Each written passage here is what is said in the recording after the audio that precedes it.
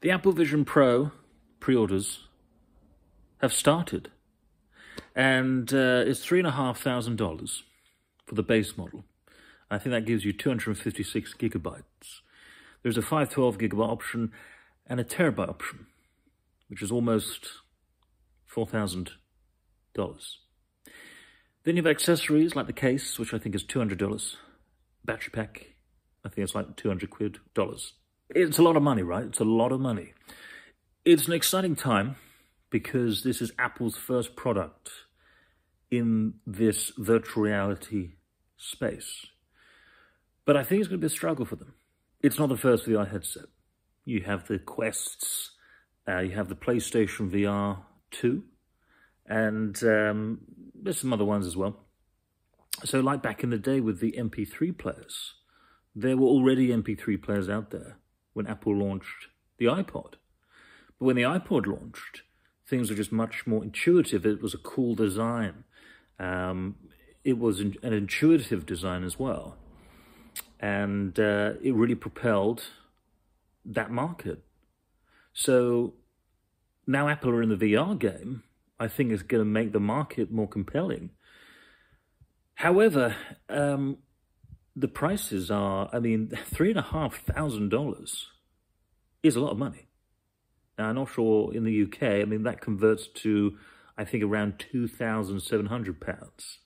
But I can imagine the UK price being probably about £3,000. So it's a lot of money. Is it something that I would get? I don't know. I mean, I'm interested in trying it.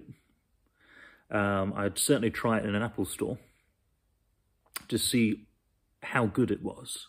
Because it's very difficult to see how good these virtual reality headsets are without trying them. I have the, original PSVR. As a VR headset, it's okay. I can see a lot of the pixels. Um, when I'm sitting down and using it, the um, the tracking can go awry, and I have to keep constantly sort of reset the picture. So it's uh, like if I'm watching, I don't know, Netflix or something, um, or playing a game, I just have to keep resetting it so the picture goes in the middle. It was really annoying. I still have it, and I haven't got a PSVR 2 because I want to try it. But Sony don't have any that I've seen demo units. They don't have a, a store, I don't think. Um, and they haven't invested money in, you know, putting up uh, a PSVR 2. So, you know, obviously we just had Christmas. Um, I've been to some, you know, shopping centres, and I couldn't see any PSVR 2 demo booths. All they need is like, a, you know, a little booth in one of these shopping centres for people to try. But they don't do that.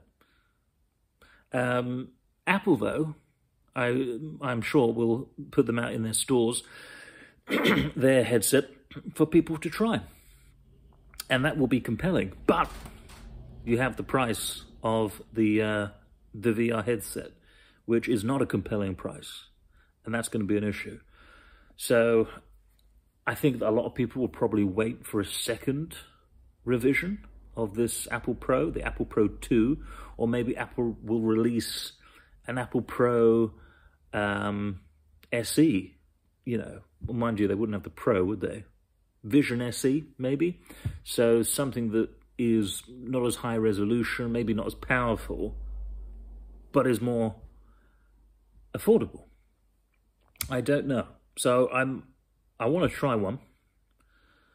I don't want to buy one at that price, but I'm excited to see what can be done. I like the idea of a spatial video, but if you look at the specification on the Apple website, for the camera or cameras, it doesn't say the uh, the resolution.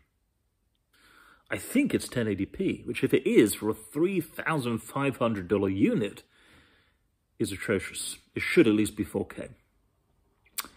Um, also, when you look at the spatial videos on the visor, they seem to be in this square format with a, a haze around it. So it's not widescreen. So I'd need to see a lot more detail about what the spatial video, what it, the ins and outs of it, you know, the actual specification of it. I mean, I have a, a 3D camera I've still got it. It still works. And I that might do 720p though. But nevertheless, um, I can still do 3D video. So this visor really needs to, uh, visor, this, the Apple Pro really needs to um, have a lot going for it for the spatial video, for me. That's one of my primary reasons that I would buy one. Um, the workspace, I don't know if, I, I mean, it.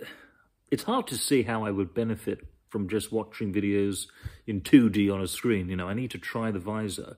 It could be fantastic for work, right? It looks like it's going to be great for watching films, which I like as well. Um, but for the workspace, could be useful, but I really need to try it first.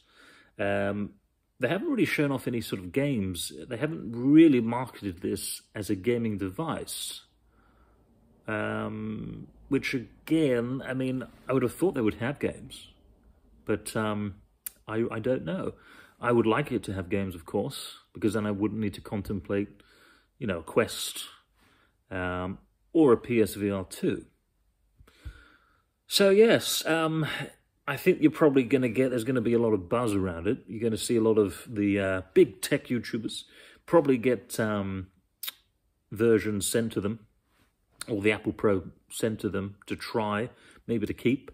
Um, but bear in mind, if someone does get it for free, they've got it for free, you know. Um, yeah.